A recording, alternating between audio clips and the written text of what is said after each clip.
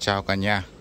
Buổi chiều của ngày à, 14 tháng à, 2 tháng 3 năm 2022 Thì à, hôm nay em lên một cái video để thông báo với toàn thể anh em.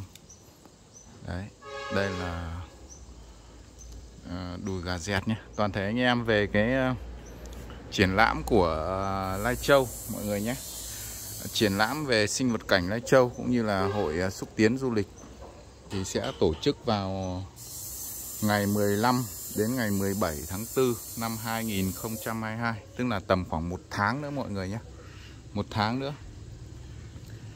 Thì câu lạc bộ Hoa Lan Lai Châu người ta cũng đã lên kế hoạch chuẩn bị và cũng đã mượn rất nhiều những cái giò lan. Đấy, thì thông qua cái video này thì mình cũng mời cũng như là thông báo với toàn thể những anh em nào mà yêu hoa lan trên ờ, mọi miền của tổ quốc à, muốn à, thưởng thức những cái vẻ đẹp của những cái cây lan thì chúng ta đến với Lai Châu mọi người nhé. À, địa điểm là ở uh, quảng trường nhân dân tỉnh Lai Châu ở chỗ khu hành chính tổng hợp hành chính hợp khối mọi người nhé. Với những bác mà ở trong miền Nam hoặc là ở xa hơn một chút thì chúng ta có thể à, đi ra sớm trước một hai ngày nếu mà đi từ Hà Nội lên thì các bạn có thể bắt xe ở bến Mỹ Đình và chỉ một buổi tối thôi.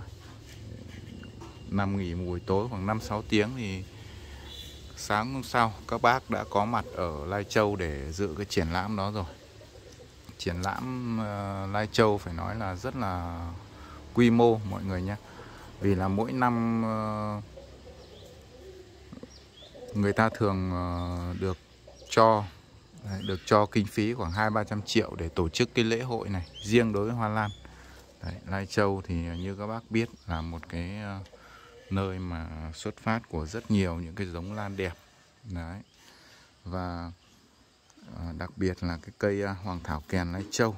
Đấy, một cái giống cây đặc hữu chỉ có ở Lai Châu mới đem lại cái sắc độ tím mọi người nhé thì uh, xin thông báo với tất cả như vậy. Dự kiến là triển lãm cũng sẽ rất là hoành tráng. Đấy.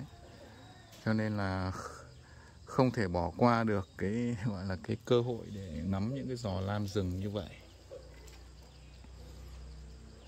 Thời gian mình nhắc lại là từ ngày 15 đến ngày 17 tháng 4 năm 2022 đấy.